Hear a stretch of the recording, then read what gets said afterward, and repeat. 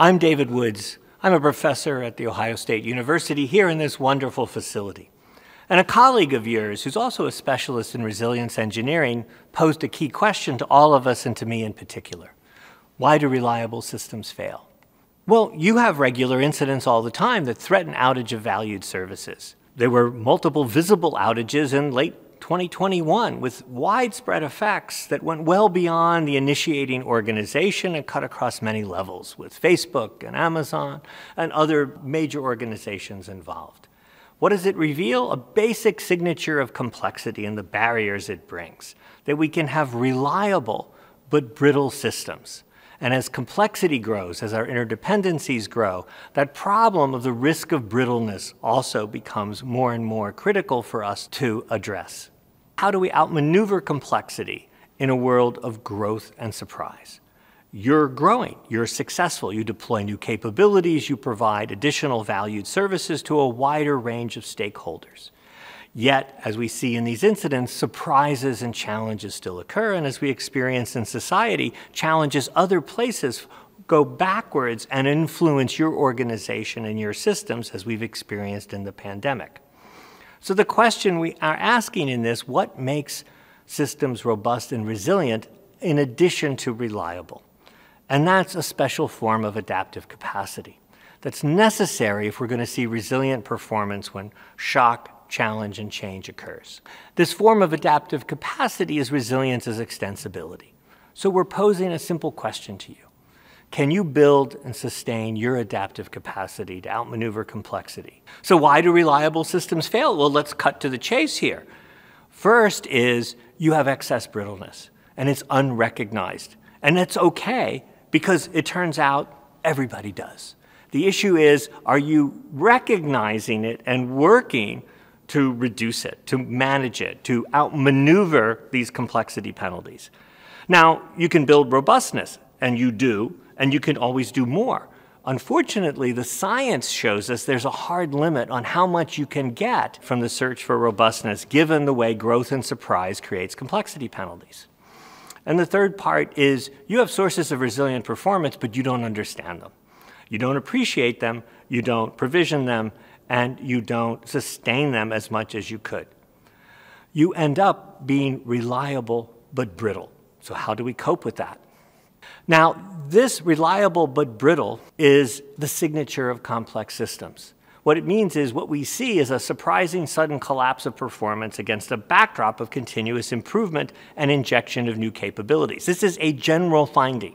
In fact, this isn't a finding, this is a theorem. Not only is this a theorem, it's a proven theorem. It's 20 years old it turns out that the pressure to pursue optimality, if you don't add in the right kind of resilience and robustness, will increase the risk of brittle collapse. And that's why we keep seeing these repeated issues of, of near collapse or actual loss of valued services, as I indicated. And when we study this in across the whole range of biology, including us as part of the biological world, what we discover is that biology abhors reliable but brittle systems. And biology builds in a form of adaptive capacity that we're talking about. Now, who am I and how do I know about this stuff? Well, what we do is we go out, and for the last 40 years, we've been studying how people cope with complexity, how they adapt. You, me, all of us as we adapt to cope with complexity. And we've been doing this for decades across settings in hospitals and space operations, at wildland firefighting, military operations, flight decks, all kinds of different settings. When we study these, the empirical patterns in these wildlands is that some people not all people all the time, but some people are the critical resource that provides the adaptive capacity for resilient performance that counters this risk of brittle collapse. And you can call that, colloquially, snafu catching. That was a coinage by the American GI grunt soldier in World War II. Situation normal, all effed up, right? The side that was doing well and had all the logistics still had these messiness undermining our plans and expectations about how our system would work. Outmaneuvering complexity requires us to know how to architect and design in adaptive capacity in layered networks of organizations and technology. And that's a pretty exciting thing, and that's a place where you're at too. Why do reliable systems fail?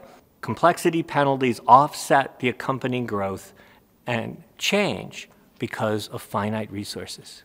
Capabilities grow, scales expand, pressures intensify, gaps will develop, and those gaps will only be visible in the anomalies, exceptions, and surprises that occur at the boundaries of your competence envelope. And it requires this extra uh, extensibility of uh, adaptive capacity to fill the gaps. As this found sign says, your system was never broken, it was built this way. But the key here is given new capabilities, finite resources, and continuing change, right, these adaptive cycles are fundamental in what goes on. So the issue turns out to be not your reliable system sometimes fails due to brittleness, but why don't brittle systems fail more often? And we've already indicated it's due to this adaptive capacity as a readiness or potential to change how the system works now. Despite its improvements and successes and growth, it needs to change right? In the expectation that some of the places you made choices about finite resources and the way success happens and gets adapted by other human roles in other organizations will continue to produce anomalies, surprises. You have to be poised to adapt.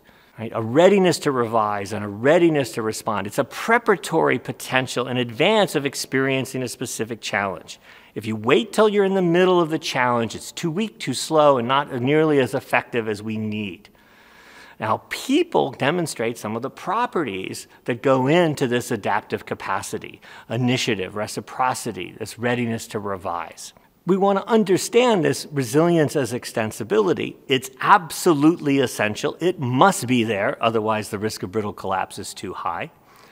What I want you to remember when we study this and understand this is, is this simple line resilience is a verb in the future tense. It's about how you build capability that will be needed in the future, which is, of course, why it's hard to sustain because it doesn't look necessary or even looks inefficient now. And so management can easily under provision or poorly provision the key people who provide this resource. We've said it's about reliability, robustness, and resilience, right? And that the key is to sustain robustness and resilience, in particular resilience as extensibility. Robustness is improving the system's competence for specific, well understood challenges. And the catch is you can't know them all. And inevitably, whatever the planning process you go through, whatever the algorithms you create, however you do it, holes will appear when surprise occurs. Now, again, this is a theorem. This is a hard limit on how this works. It's called robust yet fragile. It's 20 years old. There's limits to the competence due to those finite resources and continuing change. So resilience as extensibility from a very practical point of view is kind of simple. How does the system handle the next challenge case it will experience when that case is different than the ones you've faced before in ways that reveal the gaps in past plans and competencies? What you've been good at won't be good enough in the future. And when that happens, the second question is how does the system deploy, mobilize, and generate the adaptive capacity to keep pace with the spreading challenges, disruptions, cascades that play out over time in these situations? So being reliable and robust is are, are great, but insufficient. When you lead with resilience, you get a big robustness benefit because you have to continuously be examining and correcting your investment in building robustness. Now, we can see this in many places. I mentioned those different areas we've studied it in intensive care units, in emergency rooms, in the interplay of intensive care units and emergency rooms. We see going solid. We see how do you anticipate to keep pace. We see effects at a distance degrade diagnostic search. We see uh, the need to manage the cost of coordination. These are all things we see in all these different settings, including yours. What do your challenges look like and how are they changing? How do you deploy, mobilize, and generate adaptive capacity to respond? How can you architect your systems and as a human and technical and social and collaborative system to provision future adaptive capacity? The same stuff that works, the, the good stuff, and the same stuff that makes things worse, ugly, appear in the ICU and in aviation, and they also appear in your world because these are fundamentals that we see and we can take advantage of in designing and architecting your system to be better able to cope with the messiness that accompanies and complexity penalties that accompany growing capabilities. So thanks to uh, Laura Nolan and, and, Lorin Hochstein, we have some commentaries on a couple events that happened close together at one of your parallel companies. And what's interesting in this is the factors we're talking about play out. Tales of migrating saturation. The story Laura and Lorin tell about these two cases are stories of how saturation is triggered in bills, how adaptations help and hurt and hide what is going on. People are trying to adapt ahead of running out of the capacity to continue to maneuver as events produce different forms of overload and different parts of your technology start to respond. Now, we see many, many different patterns here that we see in other places as well. One of the big things here is not uh, counterproductive behaviors as you approach sat saturation. You see working at cross purposes. Uh, you see maladaptive steps and responses.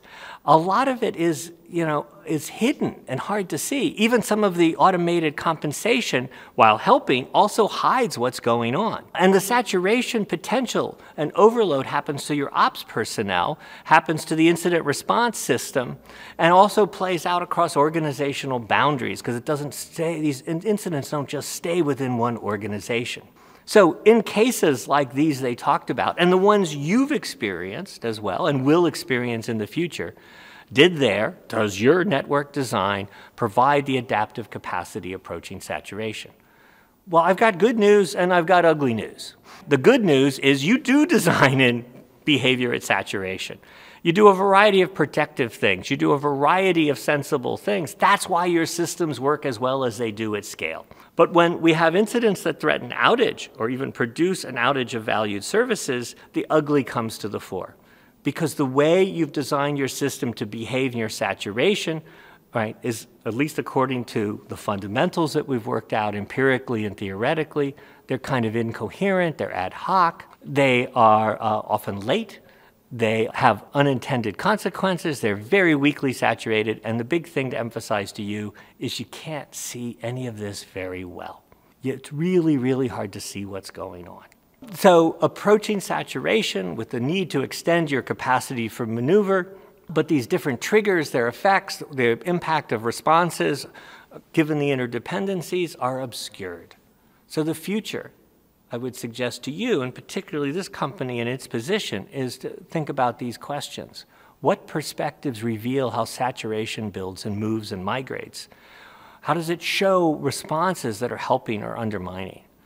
Can you see how others are coping? And can you act to help those because you can see where they're running out of uh, capacity to respond? And you can anticipate early, right, and mitigate the spreading cascade of effects. If reliability is insufficient because of brittleness, what can you do? My message is simple. You have to value robustness and resilience as well. You have to step back and realize no matter what, no matter how good you are, no matter how talented you are, no matter the uh, investments you make, you are subject to missing the forms of excess brittleness that are present in your system, in part because they change, and they change because of growth. And these unappreciated sources of, of, resilient performance need to be dug out. They need to be looked for. They need to be investigated. They need to be reinforced. The limits on, on your competence are hard to see. They're not where you think they are, and they move around. And you generally overestimate the size of your competence envelope. It changes the shape of the surprises at the boundaries. So, what would I like you to do? And when you value these, I think you need to think about a very simple change. Expand the reference of the term SRE site reliability engineer. And the S doesn't even really refer to site.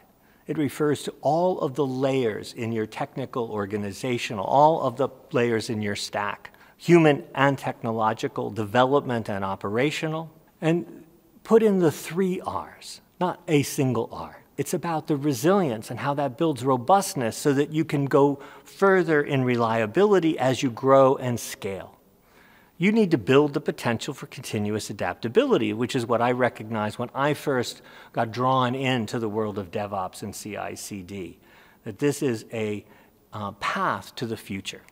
To be poised to adapt, to switch to S3Rs E. Some of the key things that are going on today are the processes for learning from incidents from people like John Allspaw, Richard Cook, and uh, many others.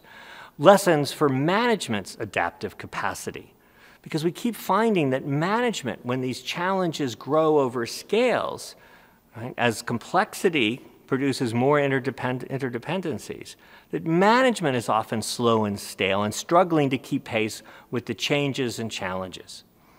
Insufficient adaptive capacity at the management level needs to be addressed, as well as how they provision the rest of the stack. All of the layers in your organizational tech stack have to be poised to adapt. And in that process, it changes what the E refers to, because it really refers to resilience engineering. Thank you.